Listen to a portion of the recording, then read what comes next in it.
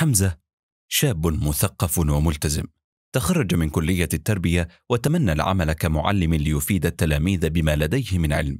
وقد قام بتقديم أوراقه لوزارة بلاده ووزارات الدول العربية وللمدارس الخاصة. ولأنه يريد تحقيق ذاته لم ينتظر خطاب التعيين. وقبل بوظيفة كاشير في أحد المحلات الكبرى. وبعد ثلاثة أشهر من العمل كان يحمل حقيبة بها مبلغ كبير وكان مكلفا أن يسلمها للحسابات وأثناء ما كان يحاسب أحد العملاء لم يجد الحقيبة. فأسرع إلى الكاميرات والأمن ولكن في لمح البصر كان اللص قد اختفى. فحزن حزنا شديدا خاصة بعدما طالبه صاحب العمل بتسديد المبلغ كاملا.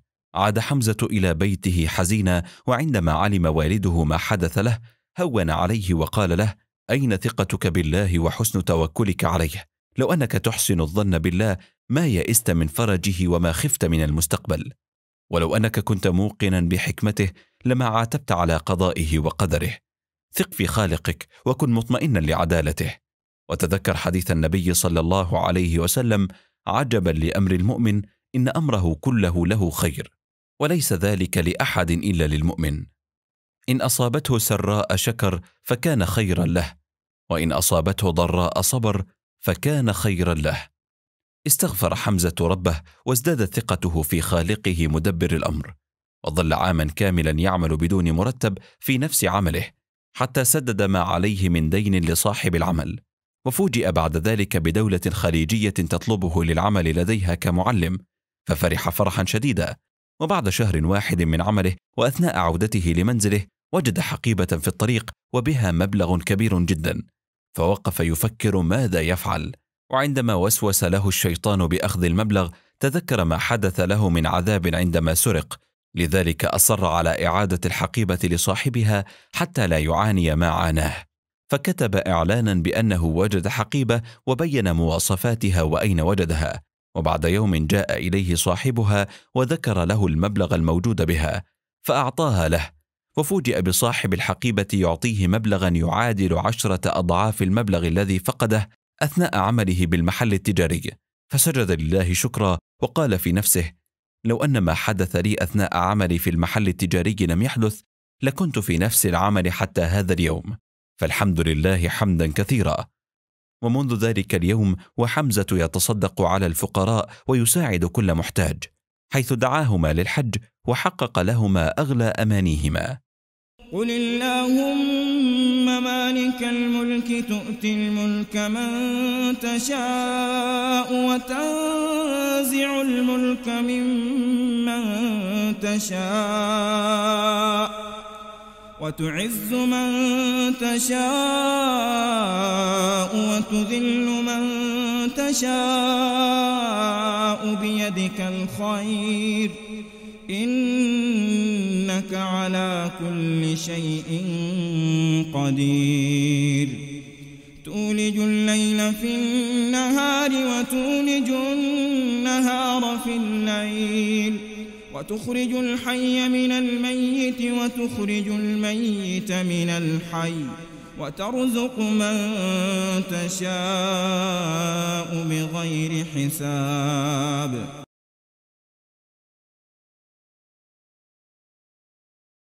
رجل آسيوي في الخمسين من عمره يعمل بجمع القمامة في إحدى دول الخليج. وفي أحد الأيام وبعد الانتهاء من عمله وقف بملابس العمل أمام محل صائغ يتأمل مبتسما طاقما من الذهب. فمر بجانبه مراهق وقام بتصويره ونشر الصورة على حسابه وعلق ساخرا من فقر وعمل الرجل قائلا هذا آخره ينظر إلى القمامة. غضب المتابعون غضبا شديدا وردوا غيبة العامل ودافعوا عنه وكتبوا الفقر ليس عيبا وناشد صاحب محل الذهب الأصدقاء أن يدلوه على العامل. وعندما التقى به أهداه الطاقم الذي تعلقت عيناه به راجيا منه أن يقبله. ثم توالت بعد ذلك هدايا الكرام على العامل ما بين هدايا نقدية وعينية وعطور حتى أن إحدى القنوات استضافته لتتعرف عليه أكثر. فقال لمقدمة البرنامج أنا رجل من الفلبين.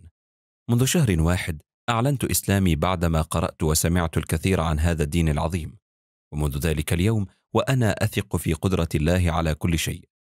وعندما وقفت أمام محل الصائغ ونظرت إلى طاقم الذهب تعلق قلبي بالله وتذكرت ابنتي التي سيحل يوم زفافها بعد ثلاثة أشهر. وابتسمت وقلت هامسه يا الله إن أعجزني شراؤه فهو لا يعجزك. وإن كان كثيرا علي فهو ليس بكثير عليك. وإن كان طلبي مستحيلا فقد طلب سليمان عليه السلام منك المستحيل بقلب مطمئن بالإجابة عندما قال هب لي ملكا لا ينبغي لأحد من بعدي. وحققت لسليمان ما تمنى. لذلك لا أستكثر عليك شيئا فأنا علي الدعاء وأثق في إجابتك.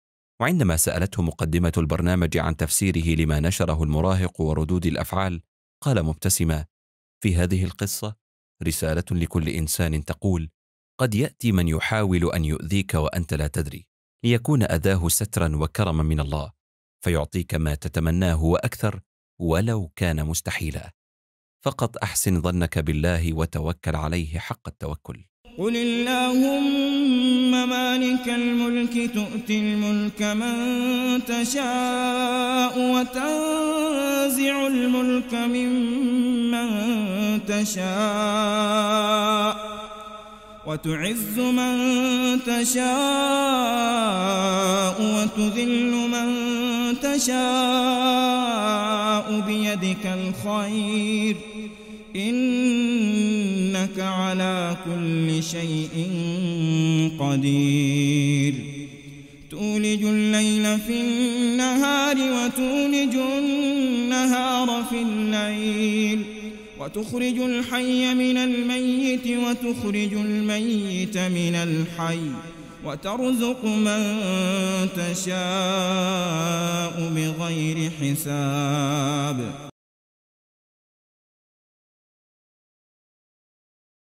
في الرياض شاب يبلغ من العمر ستة عشر عاما يتمتع بأدب جم وأخلاق كريمة يبتسم دائما ويعامل الآخرين بحسن خلق وحلم كبير.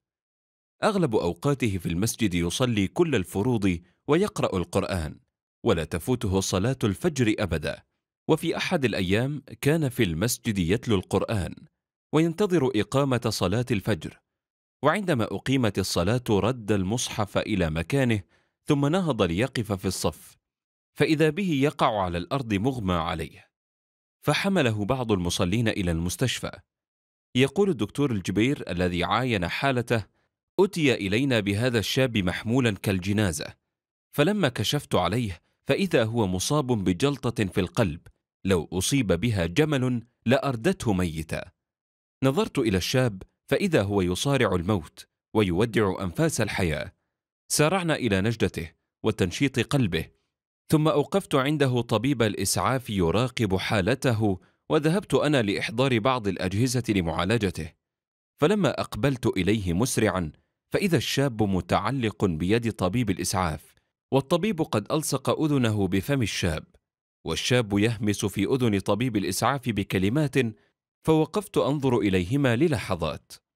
وفجاه أطلق الشاب يد الطبيب وحاول جاهدا أن يلتفت لجانبه الأيمن ثم قال بلسان ثقيل أشهد أن لا إله إلا الله وأن محمدا عبده ورسوله. وأخذ يكررها ونبضه يتلاشى وضربات القلب تختفي ونحن نحاول إنقاذه ولكن قضاء الله كان أقوى ومات الشاب. عندها انفجر طبيب الإسعاف باكيا حتى لم يستطع الوقوف على قدميه. فعجبنا وقلنا له ما لك تبكي؟ ليست هذه أول مرة ترى فيها ميتا لكن الطبيب استمر في بكائه. فلما خف عنه البكاء سألناه ماذا كان يقول لك الفتى؟ فقال لما رآك يا دكتور تذهب وتأتي وتأمر وتنهى علم أنك الطبيب المختص به. فقال لي يا دكتور قل لصاحبك طبيب القلب لا يتعب نفسه أنا ميت لا محالة والله إني أرى مقعدي من الجنة الآن. فبكيت وأنا أقول الله أكبر صدق الله الحق الذي قال في كتابه الكريم إن الذين قالوا ربنا الله ثم استقاموا تتنزل عليهم الملائكة ألا تخافوا ولا تحزنوا وأبشروا بالجنة التي كنتم توعدون. نحن أولياؤكم في الحياة الدنيا وفي الآخرة ولكم فيها ما تشتهي أنفسكم ولكم فيها ما تدعون. هذا هو الفرق بين خاتمة المطيع وخاتمة العاصي. إن الذين قالوا ربنا الله ثم استقاموا تتنزل عليهم الملائكة ألا تخافوا ولا تحزنوا وأبشروا بالجنة التي كنتم توعدون نحن أولياؤكم في الحياة الدنيا وفي الآخرة ولكم فيها ما تشتهي أنفسكم ولكم فيها ما تدعون نزلا من غفور رحيم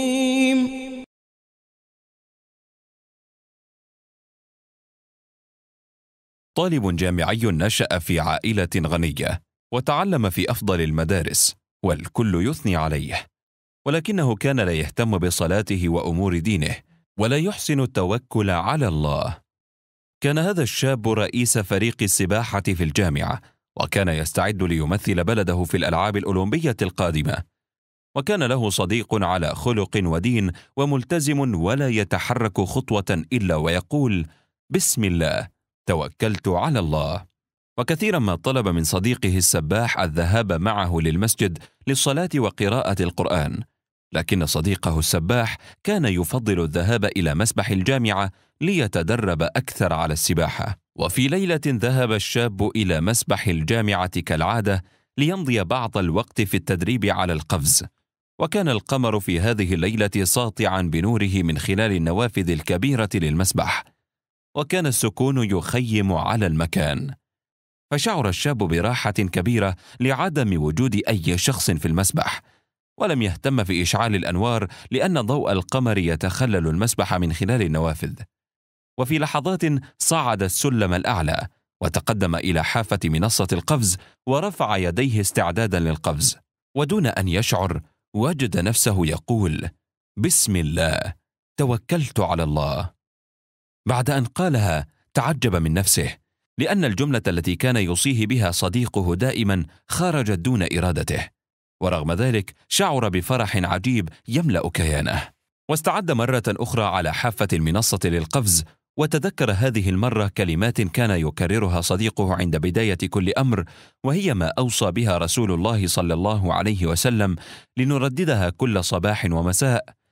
بسم الله الذي لا يضر مع اسمه شيء في الأرض ولا في السماء وهو السميع العليم. وقبل القفز بثوان إذا بالباب يفتح ومسؤول الصيانة يدخل ويشعل الأنوار في المسبح. فنظر الشاب إلى أسفل وكانت المفاجأة الكبرى. لقد وجد المسبح فارغا من الماء حيث أن المسؤول قد أفرغه لإصلاح شق في داخله ولم يقف بين الشاب والموت إلا لحظات قليلة. إن الله يدافع عن الذين آمنوا. إن الله لا يحب كل خوان كفور. نزل الشاب من المنصة ليسجد لربه وهو يبكي. ليس على نجاته وإنما على الوقت الذي مر به ولم يذكر فيه اسم الله. وقال في نفسه وهو يبكي لقد تبت إليك يا الله يا رحيم يا حفيظ كم من مرة يحف بنا الخطر والموت ولكن برحمتك تعطينا فرصة أخرى منتظرا منا أن ننتبه قبل فوات الأوان. لقد انتبهت وأعاهدك على قول وعمل كل ما يرضيك. وقرر منذ ذلك اليوم المحافظة على الصلاة في المسجد ومصاحبة الأخيار وملازمة القرآن. ومن يتق الله يجعل له مخرجا ويرزقه من حيث لا يحتسب. ومن يتوكل على الله فهو حسبه. إن الله بالغ أمره. قد جعل الله لكل شيء قدرا.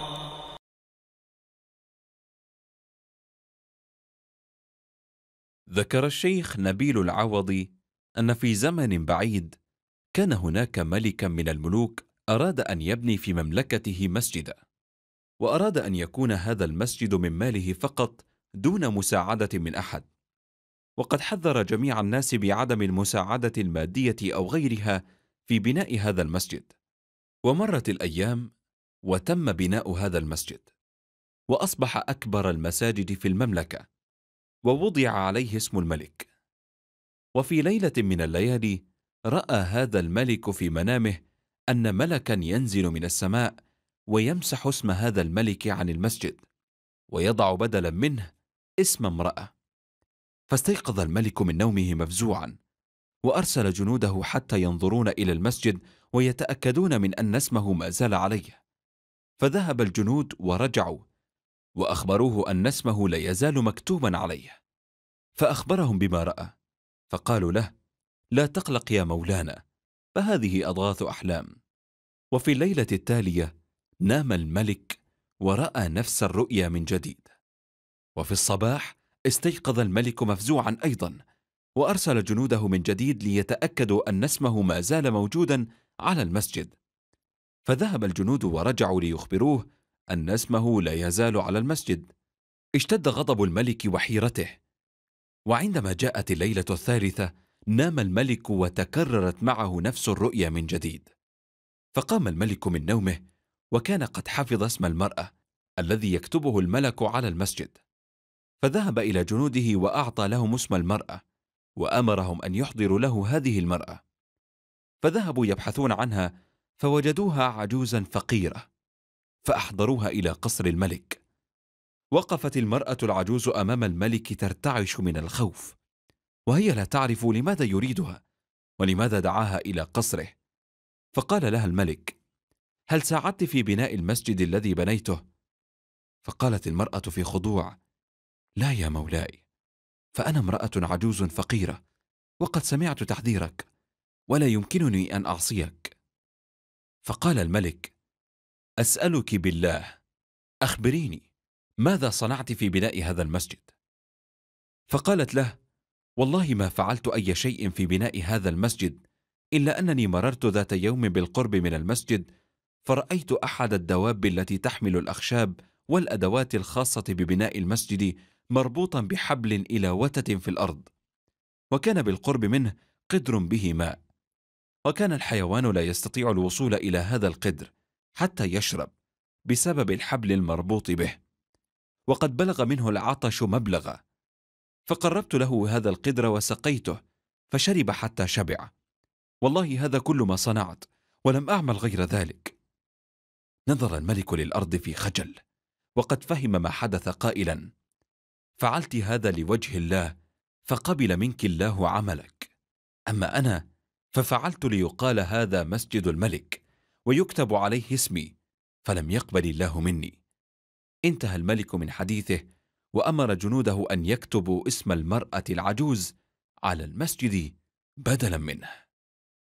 قل إنني هداني ربي إلى صراط مستقيم دينا قيما ملة إبراهيم حنيفا وما كان من المشركين قل إن صلاتي ونسكي ومحياي ومماتي لله رب العالمين لا شريك له وبذلك أمرت وأنا أول المسلمين قل أغير الله أبغي ربا وهو رب كل شيء ولا تكسب كل نفس إلا عليها ولا تزر وازرة وزر أخرى ثم إلى ربكم مرجعكم فينبئكم بما كنتم فيه تختلفون.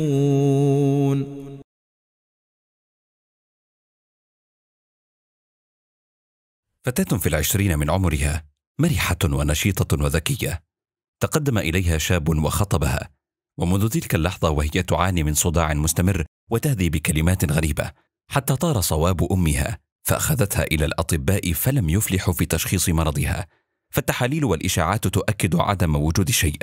فذهب بها الوالدان إلى المعالجين من السحر والجان وتردد على العرافين والدجالين. حتى وقعت في يد دجال شهير أخبرهما أن ابنتهما يعشقها مارد طوله عشرة أمتار ولن يسمح للفتاة بالزواج من أحد غيره. وحذرهما بأنهما إن ذهبا للمعالجين بالقرآن فسوف يفتك المارد بابنتهما. ومرت أيام والفتاة فيما هي عليه من الهذيان والشكوى من الصداع. حتى زارهم عم الفتاة ووجدها على ذلك الحال فأصر على علاجها بالقرآن. وذكر للأهل قول الله تعالى وننزل من القرآن ما هو شفاء ورحمة للمؤمنين ثم أخذها إلى شيخ من أصدقائه يعالج بالقرآن. وبدأ الشيخ يقرأ عليها. وفي منتصف القراءة بدأت الفتاة تصرخ وتنطق بصوت خلاف صوتها على أنه صوت الجني وتهتز قدماها وهي تقول سأخرج سأخرج نظر الشيخ إلى حركة قدم الفتاة فعلم بخبرته بأنها مفتعلة فطلب من عم الفتاة وأمها أن يتراجعا قليلا إلى الوراء وهمس للفتاة قائلا هذا ليس صوت جني ولا هذه حركة خروج إنك تكذبين علي وإن لم تصارحيني فسوف أكشف أمرك إلى أهلك فقالت الفتاة وقد أخذها الرعب من كلام الشيخ سأقول الحقيقة شرط أن تعدني بألا يعرف أهلي. فقال لها إذا تخرجين الآن وتتصلين بي عن طريق الهاتف. ثم أخبر أهلها أنها بحاجة إلى المراجعة مرة أو مرتين. واتصلت الفتاة وأخبرت الشيخ بقصتها بأنها لا تحب الشاب الذي خطبها وأهلها مصرون على زواجها منه فافتعلت ذلك المرض. وقد اكتسبت خبرة من طول ما ترددت على الدجالين واكتشفت كم هم كاذبون ولا يعلمون شيئا. ولكن عندما سمعت القرآن منه صرخت لأنها تذكرت الله ولم تستطع الكذب عليه. وعندما سألها عن سبب رفضها لخطيبها أخبرته بأنها تحب شابا آخر وهو يحبها.